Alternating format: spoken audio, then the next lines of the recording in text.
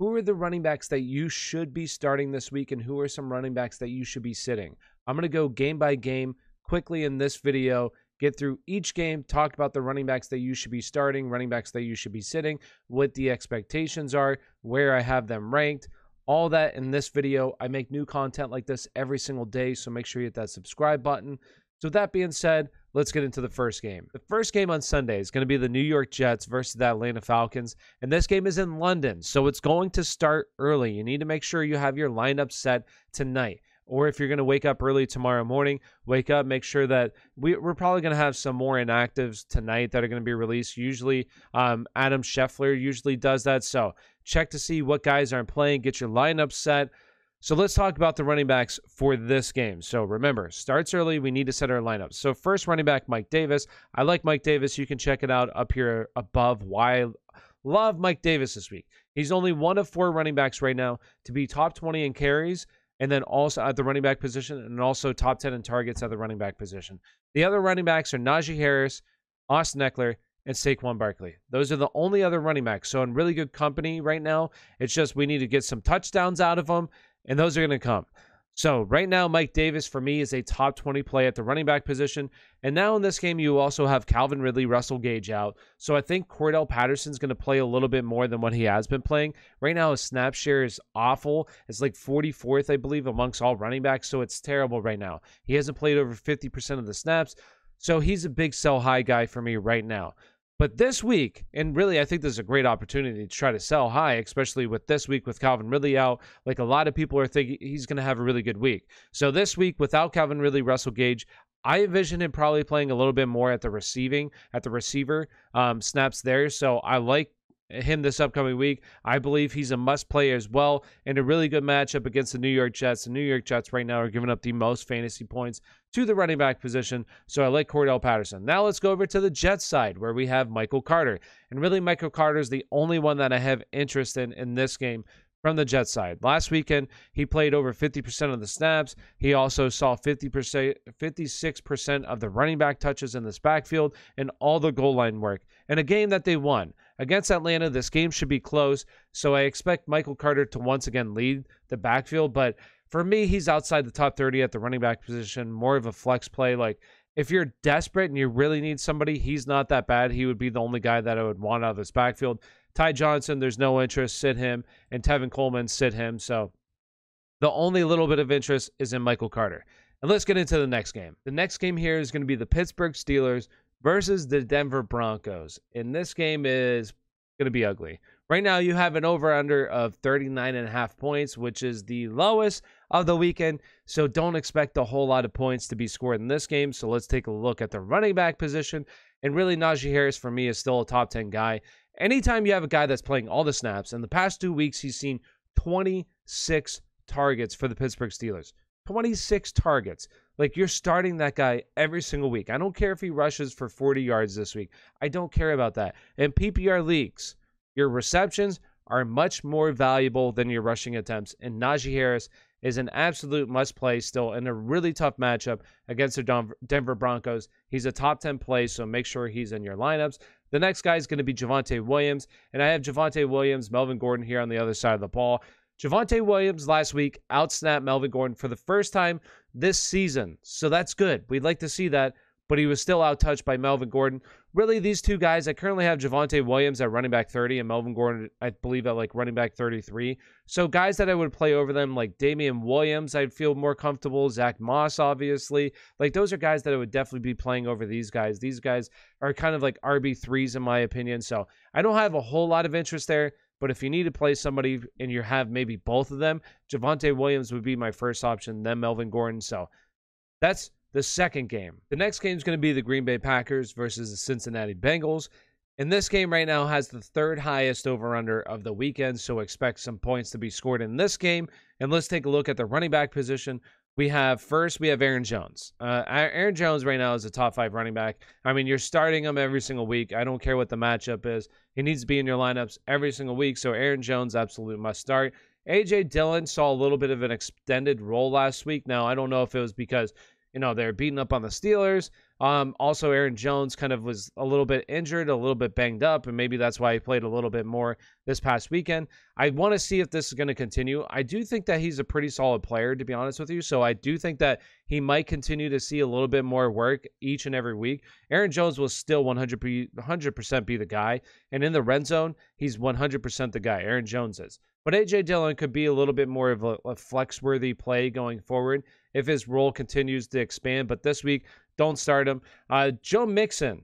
Now, this is probably going to be one of the most asked questions of the weekend is what to do with Joe Mixon. Now, obviously, if he's ruled out, like, don't, obviously, you're not playing him.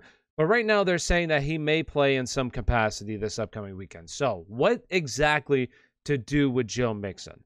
if he's going to play in some capacity, I mean, I need to see what exactly that may look like as we get closer to the game. And thankfully, this game is at one o'clock, so we'll know early what exactly is going on. But for me, I don't have a whole lot of interest in Joe Mixon. If he's going to play in some capacity, I envision him like kind of what happened last week with Dalvin Cook, where he played like 50% of the snaps, is probably what's going to happen with Joe Mixon. So the explosiveness isn't going to really be there. And he's somebody that I really want to avoid. Currently, I'm going to have him ranked outside my top 25 at the running back position. So once again, we need to see what exactly are all the full details. Maybe he's going to give it a go. Maybe he ends up being ruled out actually before the game. So right now, if that's the case, if he does play this weekend, no interest in Samaje Perine and Chris Evans. Now, if he doesn't play this weekend, if he's actually ruled out, Samaje Perine for me is a, almost like top 25 play. I have him a little bit outside the top 25. I'd still rather play like Damien Williams this upcoming week, Zach Moss, like those kind of guys, definitely over Samaje Perine, but he's going to see some touches. I expect Chris Evans to probably be a little bit involved in the passing game more than Samaje Perine, so he's going to limit his upside a little bit. And really, Samaje Perine's kind of an average player, and I feel like they're going to really rely on the passing attack more than the rushing attack. If that's the case with Joe Mixon out, so not a whole lot of interest in Perine if Mixon can't go, and definitely no interest in him if Mixon does go. So that's the third game. The next game is going to be the Philadelphia Eagles versus the Carolina Panthers. And right now, you have the Carolina Panthers as three point favorites in this game. So let's take a look at the running back situation right now. And you have CMC, who's not likely to play. He's currently doubtful. I don't think he's going to play this week. So if you have CMC, have another option to go. I think next week he'll be back, though. Next week, he should be back. But right now, he is out. Well, not out officially, but is likely to be out. If he does play, I would fire him up, though, if he does play. Next, we're going to have Chuba Hubbard, who Chuba Hubbard will take over the lead back of this offense. Now, I know last week wasn't great. It was a little bit disappointing if you had Chuba Hubbard. Rodney Smith looked like he was the passing down option for this offense. You also have Sam Darnold rushing two touchdowns. That's not going to happen every single week. I expect Chuba Hubbard to be more involved in this offense this week with them being the favorites.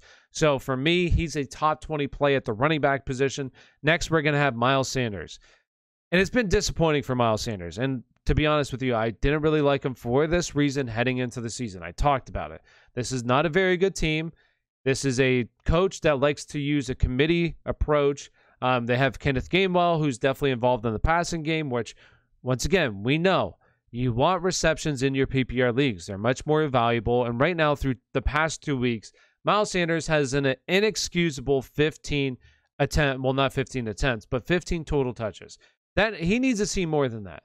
That's just it's not going to be viable in fantasy football to have a guy in two weeks average basically, you know, seven, eight touches a game. It's just not going to happen, especially when half of those are receptions. So he's just not seeing the work right now. And in a game that they're going to be behind again, one like should be playing from behind, expect Kenneth Gainwell to have a better game.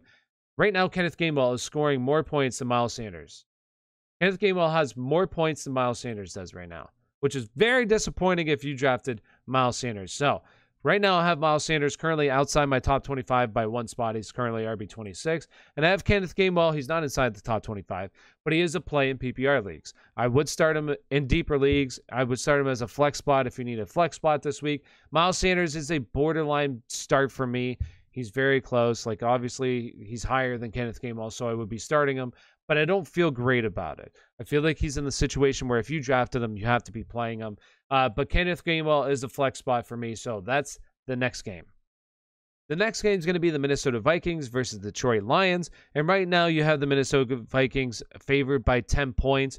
And this is a 49 and a half over under, which is one of the higher of the whole weekend. So expect a lot of points. And really 10 and a half is a lot of points. In my opinion, that's a lot of points. So, but let's go ahead and look at the running back position. So this is probably going to be one of the most asked questions this weekend.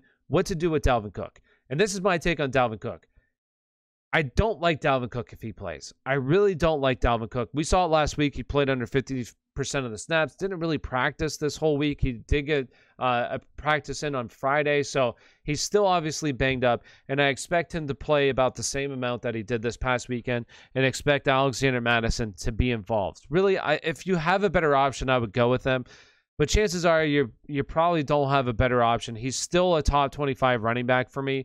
Um, so if you don't have a guy that's currently like outside the top 25, like still fire up Dalvin Cook, but definitely temper your expectations. I wish he would just be ruled out of this game because it would make it a lot easier for fantasy and just get him healthier, right?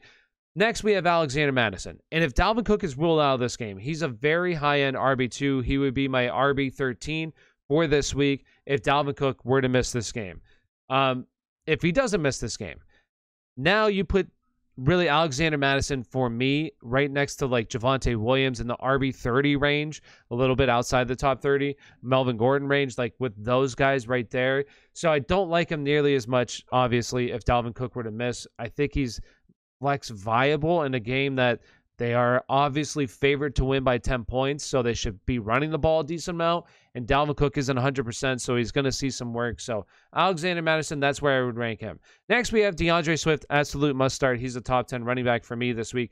In PPR leagues, you need to be playing him. Who cares that he just had 16 rushing yards? Who cares? Once again, all we care about are the receiving upside for him. And this team, like last week, I was watching the game a little bit, and they turned the ball over like three times in the red zone last week. And Jared Goff missed him. Well, he was pressured a little bit, but D'Andre Swift should have had a touchdown. He overthrew him a little bit, but D'Andre Swift, absolute must play. And then last one, we have Jamaal Williams, who Jamaal Williams, for me, he's in that range with Alexander Mattison right now. If you know, if Dalvin Cook does play like Alexander Mattison's around the RB thirty range, right now that's where Jamaal Williams is. I would probably go with Jamaal Williams, or I would go with Alexander Mattison over Jamaal Williams, but it's really close. Javonte Williams, for me, I would play over Jamaal Williams, but it's close. I do like he's he's a flex option this upcoming week. So that's this game. The next game is going to be the Jacksonville Jaguars versus the Tennessee Titans, and this is one of the higher scoring games of the entire weekend as well. Over under is 48 and a half. You have currently the Titans as four and a half point favorites. So let's take a look at the running backs. And obviously, Derrick Henry, you're absolutely starting him. He's the number one running back in fantasy football right now.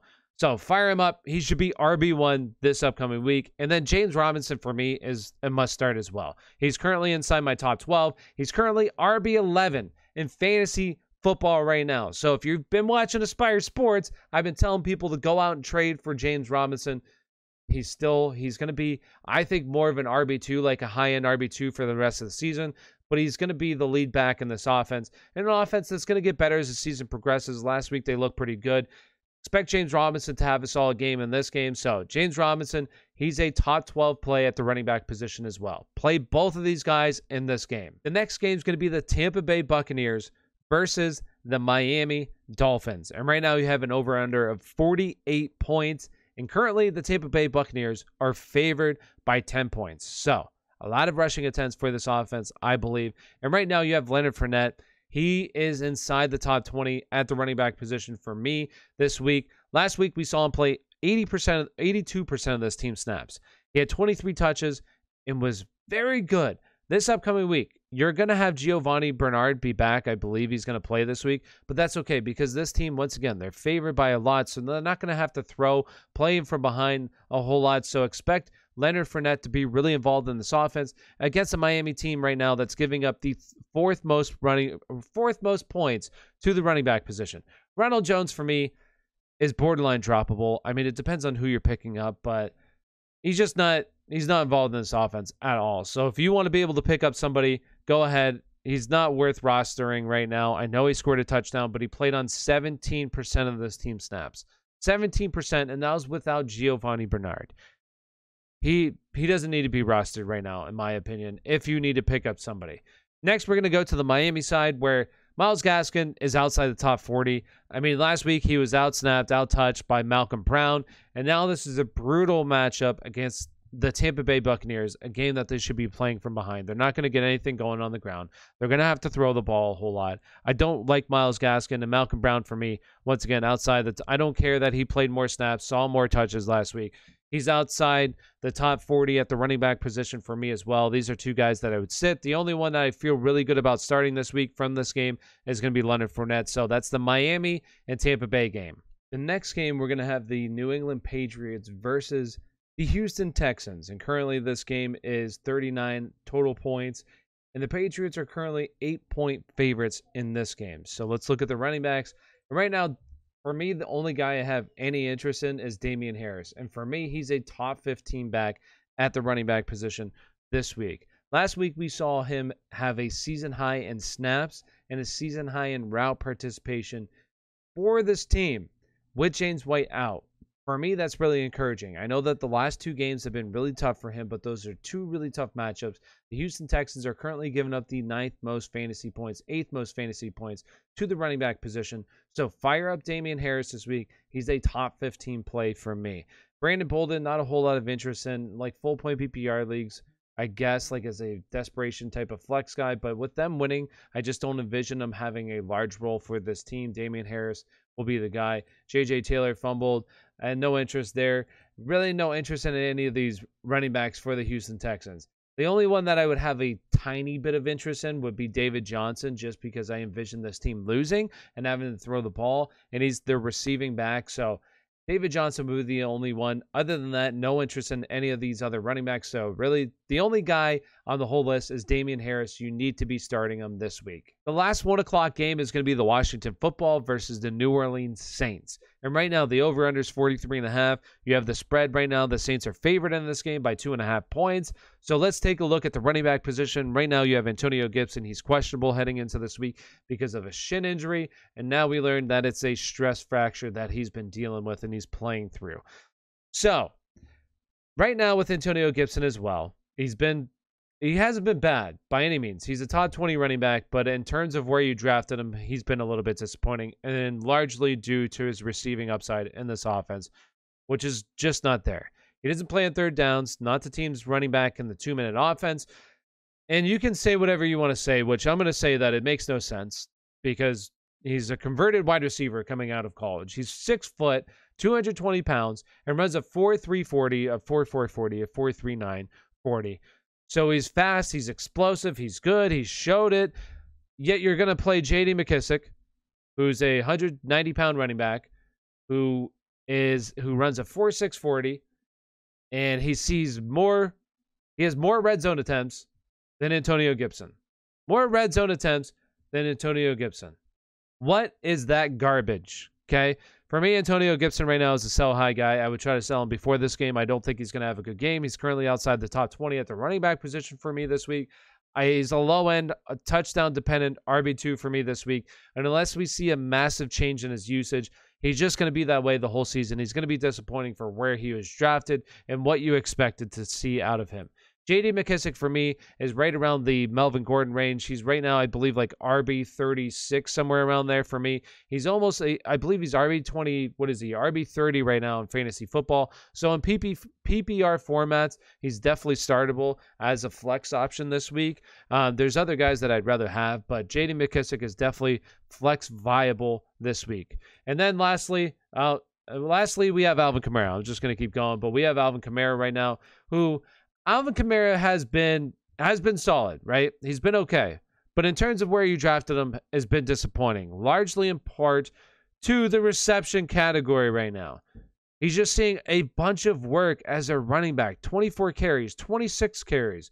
But where are the receptions that we're normally seeing out of Alvin Kamara right now? So that right now needs to change. Otherwise, he's not going to return value for where you drafted him. He's not going to be a top five running back. He's more of a back end RB1 if he's not going to receive that receiving potential. And that's why we drafted Alvin Kamara where we drafted him, is because of that receiving potential. So right now, it's not quite there. And he's still a start for me right now, but he's getting to the point where it's a little disappointing for where he was definitely drafted. So that's this game for this week.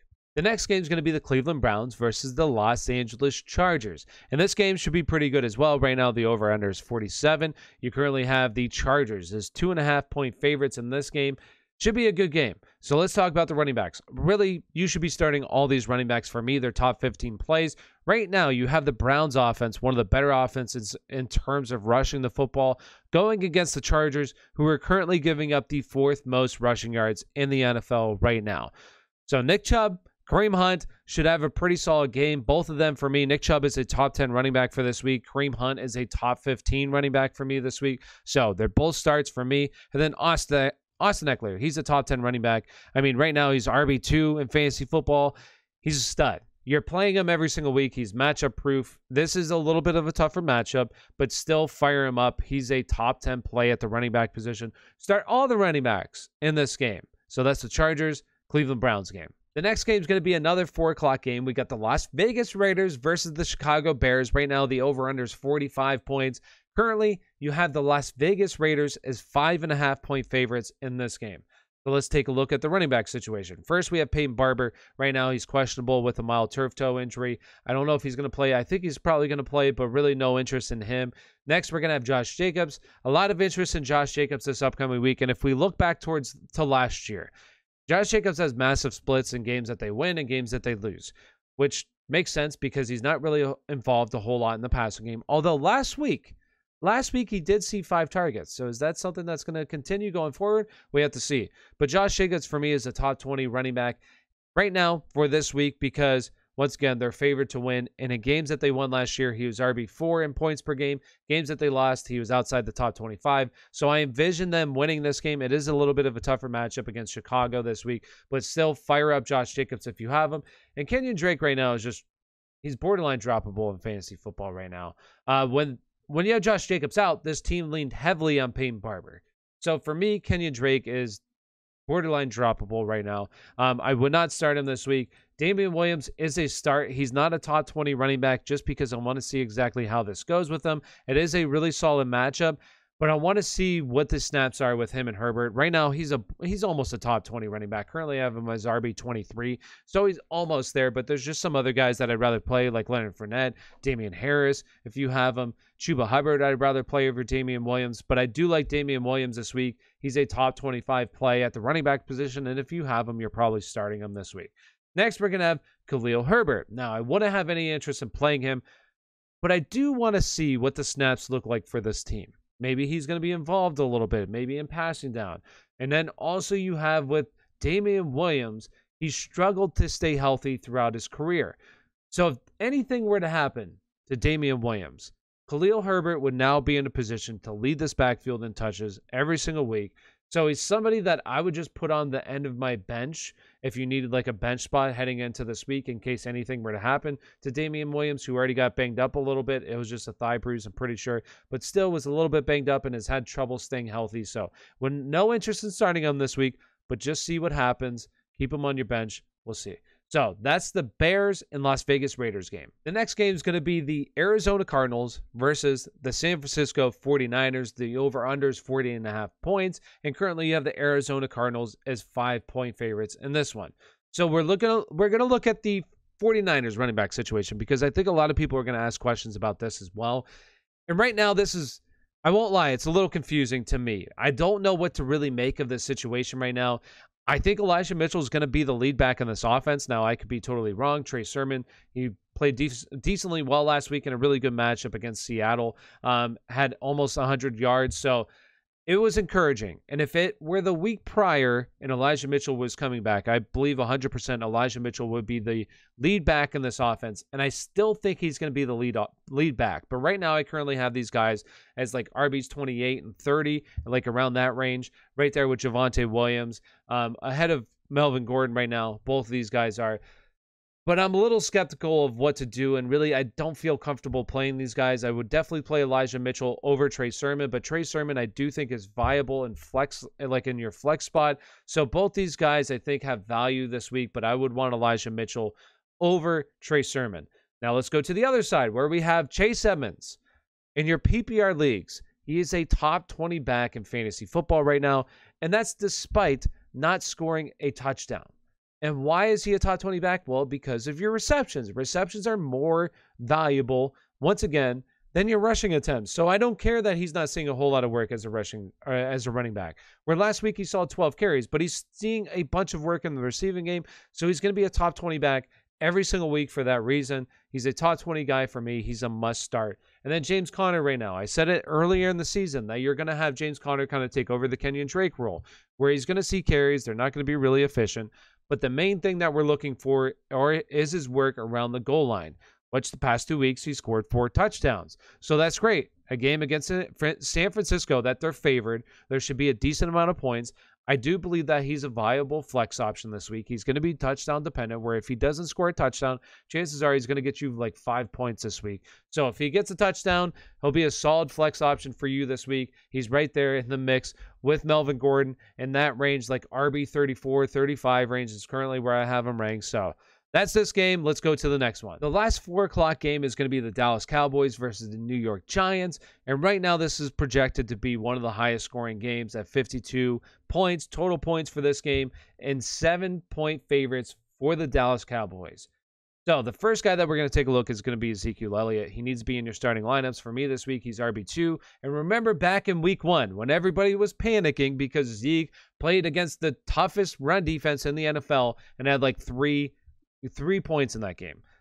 Zeke is fine. Zeke is the RB1. He'll be the RB1. He's playing on an elite snap rate. He's running routes. Everything is there for Zeke. Last week, he had 143 rushing yards. The dude's a stud. You're, you're starting him every single week. He's a top five running back for the rest of the season. Next, we're going to have Tony Pollard. Tony Pollard, for me, I don't I don't like him as a flex play, and here's why. Like Tony Pollard is playing on about 30% of the snaps. Yes, he's seeing some work, and if he sees about 10 touches a game, I guess that puts him in the category of flex. But all, the past two weeks, it's been carries. And once again, we want to see receptions more than carries, especially for a running back that's only playing about 30% of your snaps.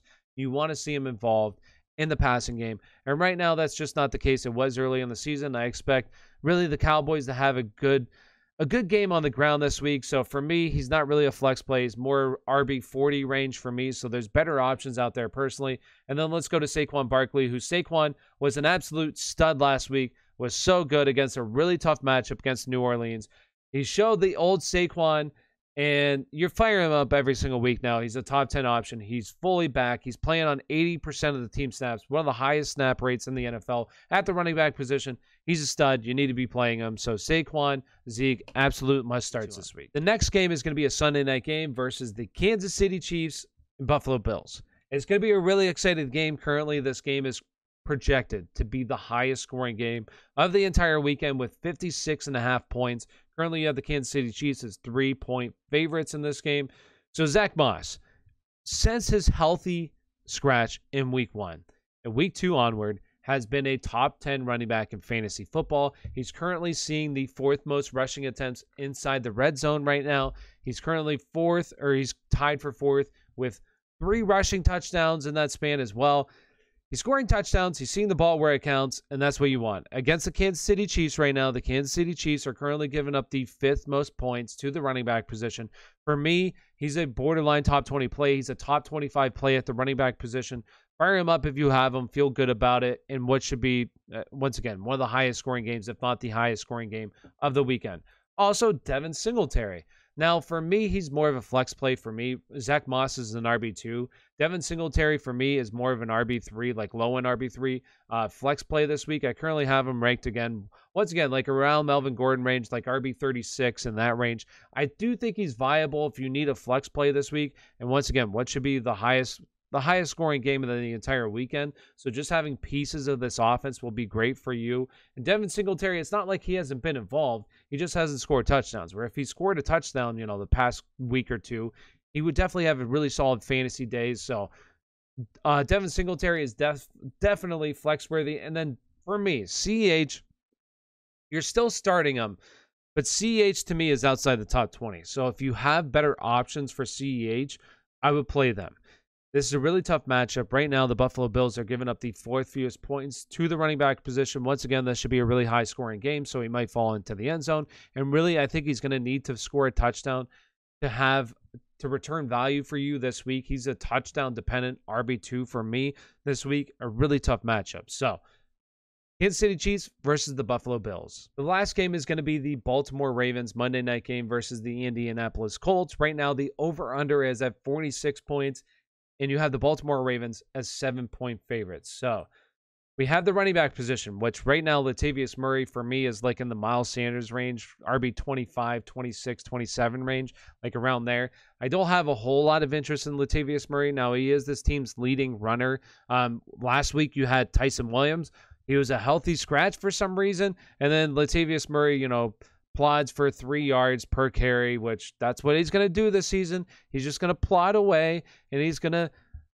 you know, score some touchdowns here and there, but he's going to have a low yards per carry. So whatever this Baltimore team wants to do, not use Ty'Son Williams, who's averaging six yards per carry and looks explosive. Hey, the only running back on the roster right now that has a catch to me, it makes absolutely no sense. I don't know why he was a healthy scratch. It makes no sense. But hey, Baltimore, you do you. So Latavius for Murray for me is outside the top 25. In a tough matchup right now, you have the Baltimore, or not the Baltimore uh, Ravens. You have the Indianapolis Colts, who are currently giving up the eighth fewest points to the running back position. So it's a tough matchup. And then Ty'Son Williams, I mean, you can't start him.